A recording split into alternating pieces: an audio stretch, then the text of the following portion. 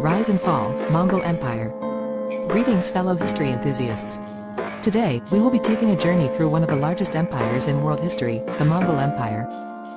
From its humble origins on the steppe to its eventual fall, this list will take you through the rise and fall of one of the most formidable empires in history. So sit back, relax, and let's begin our adventure through the rise and fall of the Mongol Empire. Number 6. The Fall of the Mongol Empire. The Mongol Empire faced numerous challenges in its later years, including rebellions, economic troubles, and the devastating effects of the Black Death. These factors, combined with the empire's vast size and lack of strong leadership, ultimately led to its downfall in the mid-14th century. Number 5. Conquest of China. One of the most significant conquests of the Mongol Empire was their invasion and eventual conquest of China. The Mongols, under the leadership of Kublai Khan, established the Yuan dynasty and ruled over China for nearly a century. This conquest greatly expanded the empire's power and wealth.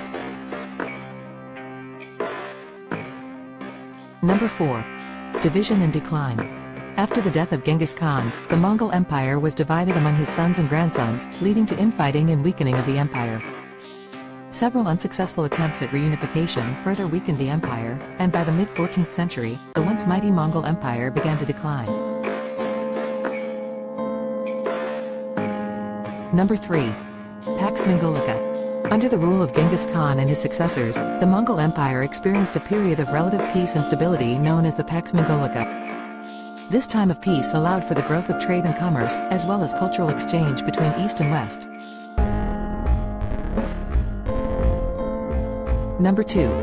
Conquest and Expansion. With Genghis Khan at its helm, the Mongol Empire began its rapid expansion, conquering vast territories and establishing a massive empire that stretched from China to Eastern Europe. The Mongol army was known for its fierce tactics and effective use of cavalry, making them a formidable force on the battlefield. Number 1. The Rise of Temujin. The story of the Mongol Empire begins with a young boy named Temujin, born into a nomadic tribe on the Asian steppe. In a world of constant warfare and rival tribes, Temujin rose to power through his cunning and military prowess. He eventually united the warring tribes under his leadership, taking on the name Genghis Khan and laying the foundation for the Mongol Empire.